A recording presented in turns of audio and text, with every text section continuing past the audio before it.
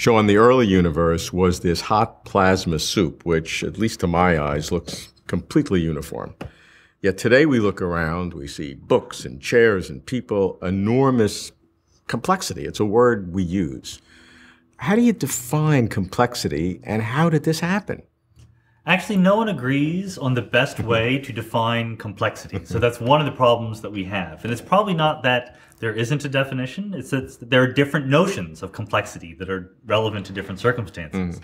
But you're right, we can look around and see that the world is complex now in a way that it wasn't back near the Big Bang. So at the very least, something is happening. We can ask what that is.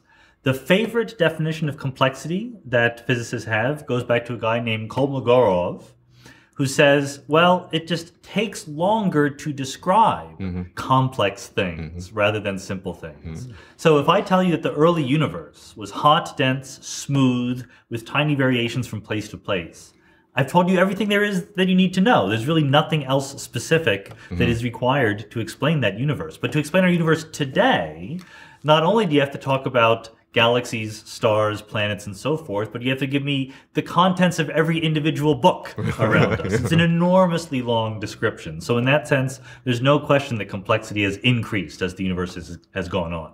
Yeah. Okay. So, what does that mean? How could that happen, especially if we have a, a universe in which the second law of thermodynamics tells us that everything increases towards disorder? So, we have on an on, on, on, a, on a total scale, everything going to disorder. And now you're telling me from this order, uh, uh, from this simplicity, we now have complexity. So you go from order to disorder and simplicity to complexity. Sounds illogical. That's right. It's not illogical. and it's not illogical for one reason because we tend to confuse the idea of simplicity with order, mm-hmm. complexity with disorder, or vice versa. I don't know what you want to do it. The truth is, they're not related right. to each other.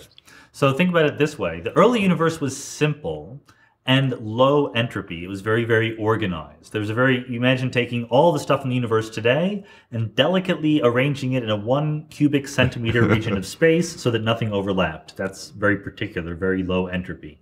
Also very simple. It's easy to describe.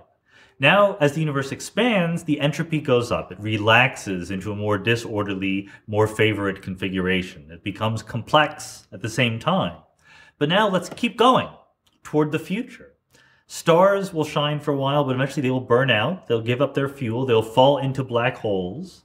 Those black holes will evaporate away, and you're left with nothing but empty space. The entropy of the universe keeps going up, up and up and up. That's all the entropy ever does. Mm-hmm. But at the end of it, you have a very simple state. You have empty space. There's nothing there. I have just described it to you entirely. So you're claiming then that this period of time, for some reason, is the height of complexity, even though it's the midpoint of sorts of entropy. So entropy has gone from very low to very high, but in this midpoint, we have this peak of complexity. And, and at an early universe, it was very low, and the far universe, it's very low.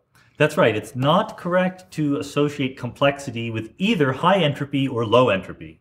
What complexity requires is changing entropy, mm. is growing mm-hmm. entropy. Mm-hmm. So life on Earth, for example, can exist because we get energy from the sun and we give it back to the universe. We give and get the same amount of energy. Energy is conserved. We're, we do not have life on Earth because we're using up energy.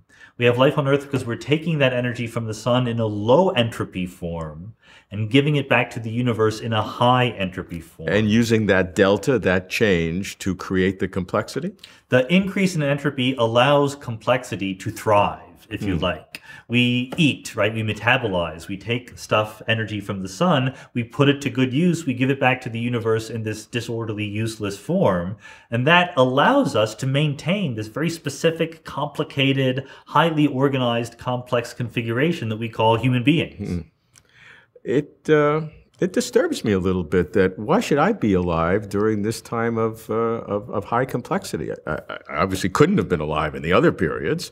That's good. You answered your own question, right? In the in the non-complex periods in the history of the universe, there's nothing there to have TV shows and ask questions. There's no complexity, so there's no organization, there's no reflection, there's no information processing. So complexity is really key to everything that we think of as human life. And to get complexity, you need entropy to be growing. So it's actually all interconnected in a very, very dependent way. But based upon this arrow of entropy, if you will, that peak of complexity that allows what we think is normal life to exist is a one-time event because you can't go back the other way. Our best understanding of the universe says we started simple and low entropy. We are growing in entropy towards increasing disorder. Complexity increases for a while mm. and then will go away. Mm. So our best current understanding of the universe says that there's a finite number of years left for complex, intelligent life to have its day in the universe. It's a many, many years. It's actually much further toward the future than toward the past, but it's not infinite. Yeah, and um, it really doesn't matter the scale that because uh, eventually it's all going to be very small in, in the great expanse of, of, of time. So um, that just seems disturbing. I mean, not, not to me personally, because I mean, uh, I'll have long uh, disappeared. But in terms of understanding where we are, it just seems, it just seems intuitively odd that there would be this, this little peak of complexity and this vast uh, movement of entropy. Well, human beings have a finite lifetime. So does the universe, in some sense. So does the interesting part of the history of the universe. Remember, from a physics point of view, the surprising thing is that there is any era in the history of the universe when complexity is allowed at all. We should be at maximum disorder. We should be like all of the air in the room being equally spread and nothing interesting happening.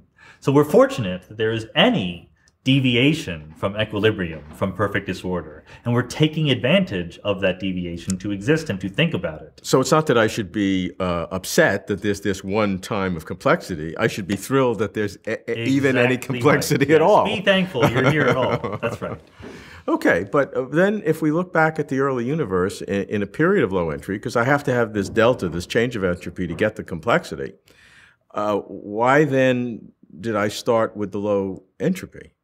Well, we would all like to know why the universe started with low entropy. That's one of the single biggest puzzles in modern science mm-hmm. and modern physics and cosmology. Mm-hmm. If you allow me to to assume that the early universe started with low entropy, then many, many nice things so follow. Then you can generate the complexity. That's right. But if you then we, you're very right to ask. So why did the early universe start that way? Nobody knows the answer to that question. If anyone tells you they know the answer, you should be skeptical. But that's okay. I mean, that's. Uh, what are we, some options? Well, we want to know why the early universe had low entropy, so we have to either come up with a reason why the universe began that way, or a scenario in which that was not the beginning. That what we see as the beginning of the universe, the Big Bang, was actually a moment in a much longer history of the universe. So, my favorite explanation is that our observable universe is a tiny part of a much bigger multiverse, of a much bigger ensemble. And the overall evolution of that ensemble creates places like us that start with low entropy and grow and have complex life in between. E even if that multiverse has greater entropy in, in, in the totality, it, it has pockets of low entropy. That That's right. So the idea would be that the way the, the multiverse creates more and more entropy is by giving rise to pockets where the entropy starts low and then grows. And which, we just are one of those spin-offs. Eh, which can generate its brief moment of complexity. And there we are. That's right. Yes. So, so we are sort of a side effect of the universe trying to increase its entropy.